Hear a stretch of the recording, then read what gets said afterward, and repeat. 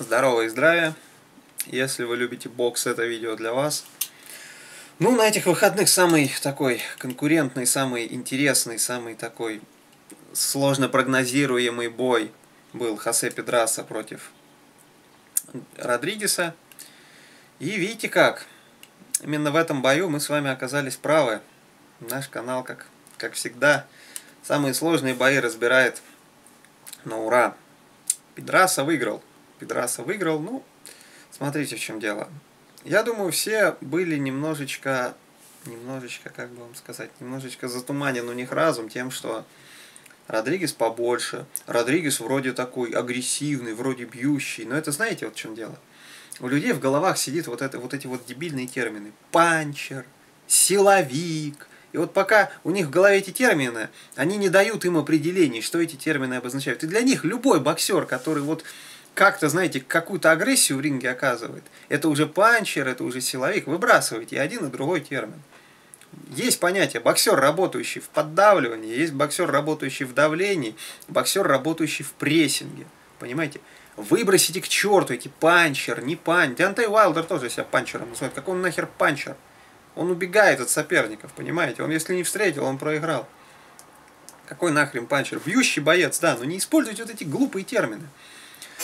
И вот что предлагал ему Родригес Педраси? Он старался зайти на среднюю дистанцию, как он и привык к стоячему сопернику, помахать боковые удары, где-то промазать, но когда соперник совсем останавливается, потому что боится его удара, так или иначе, ну удар неплохой, надо сказать, такой достаточно плотненький, и начинает работать на средней дистанции по 3-4 по удара, соперник отойдет, он походит за ним, как-то вот так вот ручки держит, чтобы его прям жестко не встретили.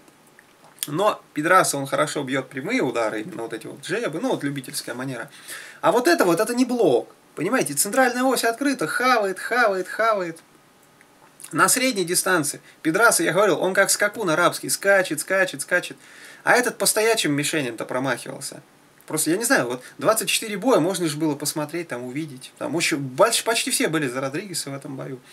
Можно было посмотреть, увидеть, что он по стоячим мишеням часто промахивается.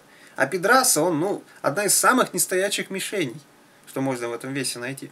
И сколько он мазал, сколько вот у него не получалось, знаете, хотя бы 3-4 плотных удара за комбинацию доставить.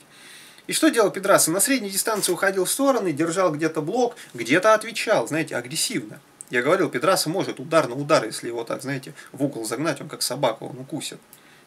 И все вот эти моменты, они Родригеса, знаете, сдерживали. И Педраса спокойно вторым номером выигрывал бой. И он, когда увидел, что Родригес уже, ну, наелся ударов, когда он устал, напромахивался. Вот знаете, мне кого напомнил Родригес? Мурата Гасиева с Усиком. Вот, вот это, вот если мне кто-то говорит, да какой бокс будущего, посмотри Усик Гасиев. Вот Родригес это Гасиев, понимаете? Гасиев это не Имантес Станионис, это не Субриэль Матиас, не Шон Портер, не Брайан Кастанья. Гасиев в том бою был вот этот вот Родригес. Понимаете, я почему в этого Родригеса не верил? Это не та манера ведения боя, у которой есть будущее. Я про это говорил в прогнозе. Говорил. И видите, что Педраса, выигрывая бой, понял, что Родригес подвымотался, понял, что Родригес устал, и уже пошел в агрессию.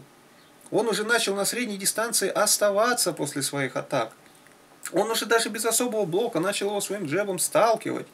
И Родригес, ну, ну, там, я не знаю, у него уже лицо было разбито, просто сдался. Он понял, я уже не выиграю. Один раунд там остался, он понял, я не нокаутирую пидорасу. Плюс, вы же поймите, не то чтобы прям какой-то страшный нокаутер этот Родригес. Сколько у него там? 14 нокаутов на 24 победы. Пидраса это человек очень крепкоголовый. Очень.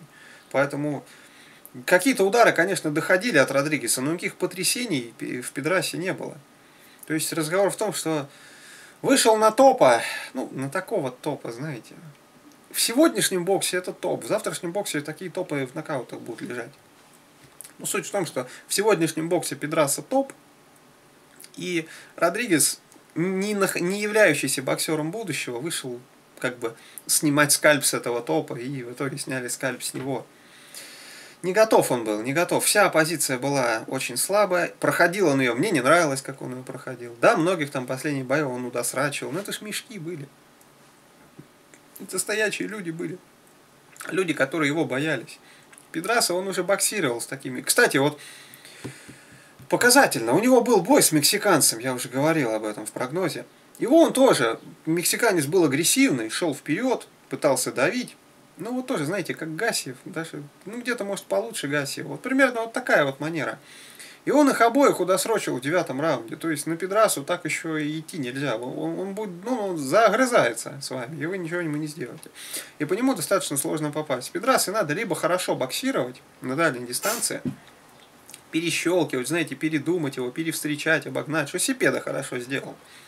Либо на, на него нужно идти с целью вообще его размазать, но делать это грамотно. Либо жестко его опережать, либо прессинговать прям вообще, ну вот он уходит, вы за ним, уходит, вы за ним, чтобы он ну, реально останавливался. И вы вот в те моменты, когда он останавливается, били четко, грамотно и вы возвращались в плотную защиту. И либо чтобы вы были маленьким, ему было неудобно, как с Дэвисом это было.